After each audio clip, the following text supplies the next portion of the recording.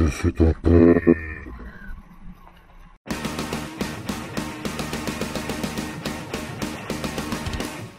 Hey, vous êtes comme moi, vous aimez faire de la peinture, que ce soit en bombe ou à l'aéro.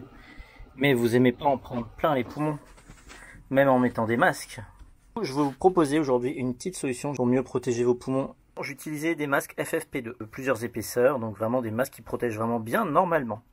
Et on peut voir celui-ci qui est bleu par rapport à celui-là. Et bien en fait ma dernière carrosserie a été bleue, il a protégé mes poumons. On peut voir qu'il y a pas mal de traces bleues. Donc là le nez est là. Et donc quand je respire, il y a de l'air, de la peinture qui essaye de rentrer le long de mon nez.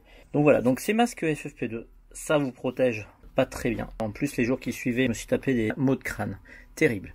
Donc ça, poubelle. Je vais vous présenter ça. Voilà ce qu'on trouve dans la boîte. Le masque, les filtres qui viennent se mettre sur les côtés. Les...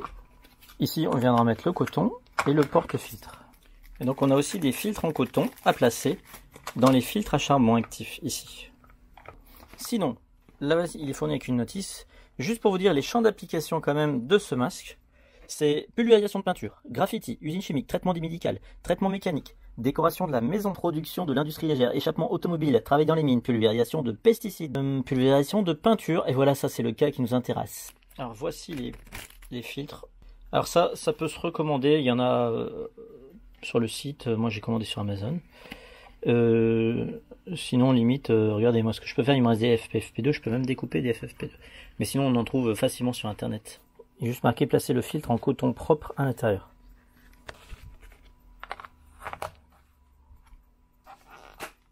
Ah oui, voilà. Donc là, il est bien en pression. Voilà, là c'est étanche, on voit bien qu'il est écrasé sur tous les bords. Voilà, donc ça, ça se change régulièrement. Ce que je vais faire, c'est que pour mon test, on va en mettre un à l'endroit, un à l'envers. Voilà. Donc là, on sent qu'il y a vraiment beaucoup, beaucoup d'étanchéité. Donc là, on est sur de la matière très molle, pour vous présenter un peu l'intérieur. C'est du caoutchouc, je pense. Ici, on a du plastique au fond. Là, on a des espèces de soupapes.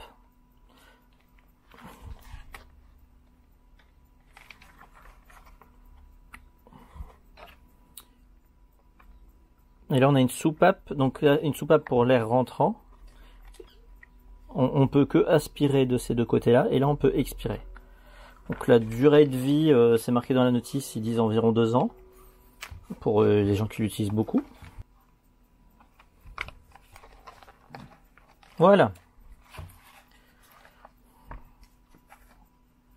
Alors s'il y a deux blocs, c'est pour que ce soit deux fois plus facile à respirer que s'il n'y en avait qu'un seul. Donc ici, on a un anneau qui se met derrière la tête et au niveau du cou, simplement, on vient attaquer comme ça. C'est tout. Donc ça, je vais mettre autour de mon cou. Voilà, donc euh, la démonstration On a un petit anneau à l'arrière du crâne.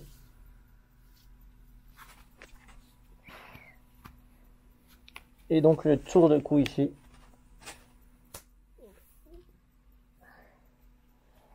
Voilà, donc j'ai ajusté pour que l'air ne passe pas ici.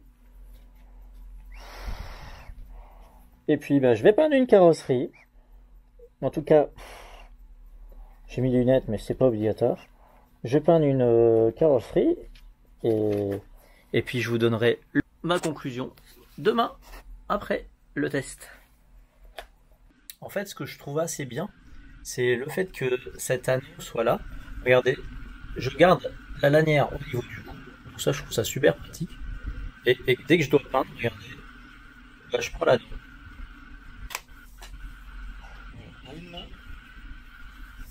J'enlève. C'est ultra pratique. Donc j'ai peint avec le masque une carrosserie complète. Voilà, donc ça c'était pour mon Stadium Trug, le XT2 chez X-Ray. On peut voir, euh, je suis assez fier de ma petite carrosse, je vous en ferai une vidéo à part. Ensuite, euh, on va faire le bilan sur euh, l'utilisation du masque. Donc tout d'abord, je l'ai beaucoup utilisé. Voilà, je l'ai pas nettoyé depuis. On peut voir qu'il est passé à l'intérieur. Au niveau des narines, il n'y a pas de traces de peinture. Et au niveau des filtres, on va les démonter.